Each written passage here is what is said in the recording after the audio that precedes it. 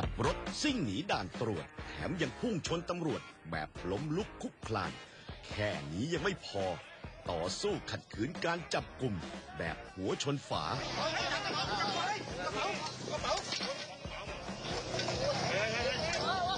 เอาอะไรพี่โอ้โห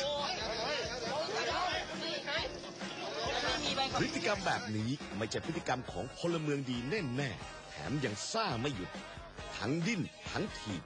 งานนี้ตำรวจโดนเข้าไปเต็มๆ ไม่รู้ว่ากินยาผิดหรือผีเข้ากันแน่เฮ้ยพี่แหลกตัวให้พี่โอ้โหโอ้แหลกตัวให้มันหนีให้มันหนีโอ้ตำรวจห้านายยังเอาไม่อยู่ ไม่รู้ไปเอาเรี่ยวแรงมาจากไหน ยื้อยุดฉุดกระชากลากไปลากมา ยังไม่ยอม ดูเอาเถอะครับ มือขวาควานมาที่เอวตำรวจ อีกนิดเดียวก็จะถึงปืนแล้ว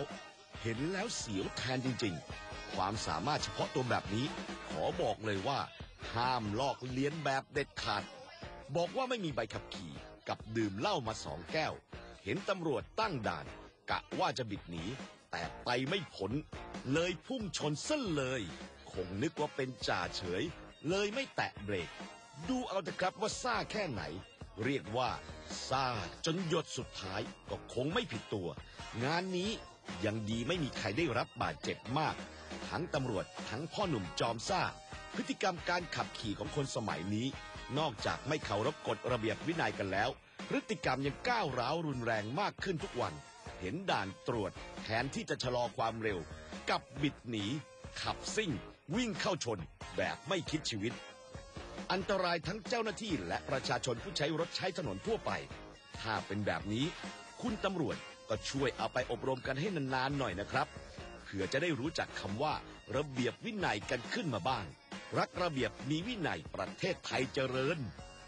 ท่านสามารถร้องเรียนผู้ทำผิดได้ที่เบอร์โทรศัพท์ 0918062404 หรือที่อีเมลอย่าทำ tnn24 at gmail com และที่ facebook slash อย่าทำ tnn24